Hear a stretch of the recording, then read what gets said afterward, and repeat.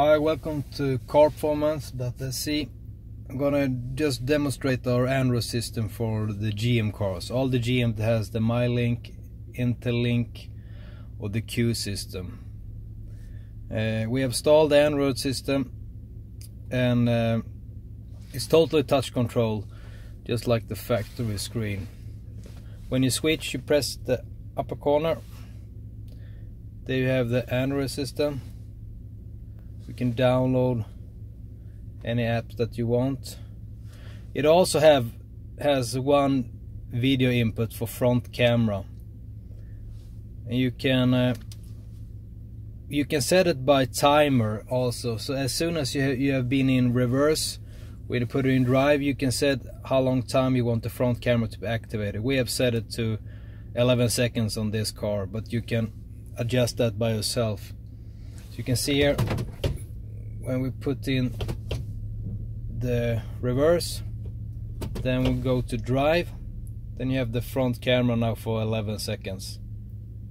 You can also enter the front camera anytime by just pressing the home for two seconds.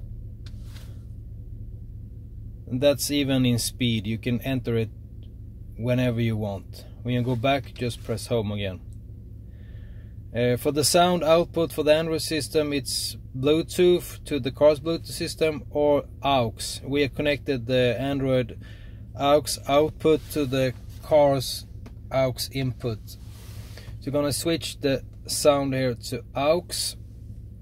Switch back to the Android system. You can see here, we're gonna take YouTube here.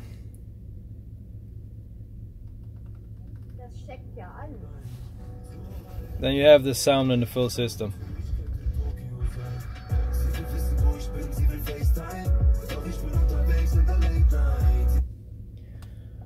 So you can select, you can watch wherever you want. You can download all the apps. You have Play Store here.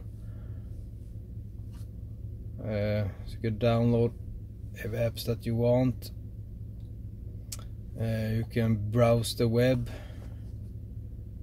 Here you have our website. And go to just Google. See.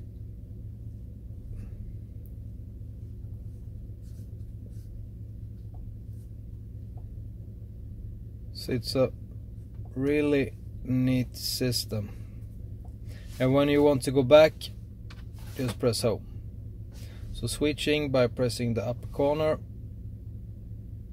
let's say you want to go to camera just press there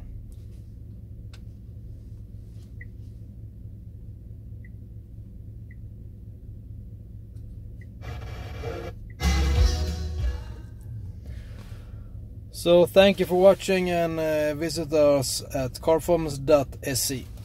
Thank you.